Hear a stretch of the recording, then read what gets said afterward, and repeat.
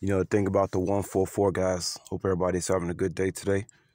The thing about the 144 me is that it seems like everything I do, I got 144 written all over my life.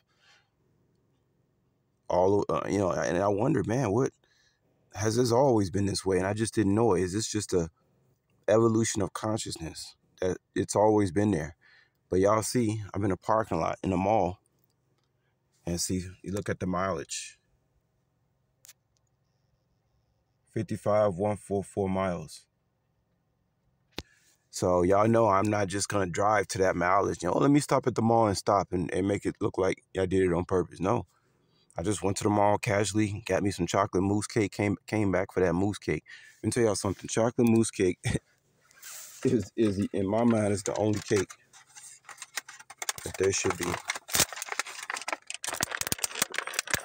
Cause I don't like all that, you know, all that bread, you know what I'm saying?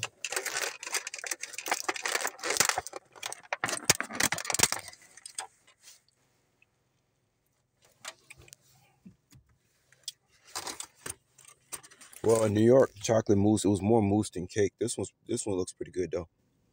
But in New York, it was barely any bread at all.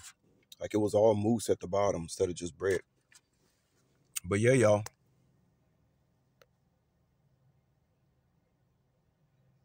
Everything I do is 144 is incorporated.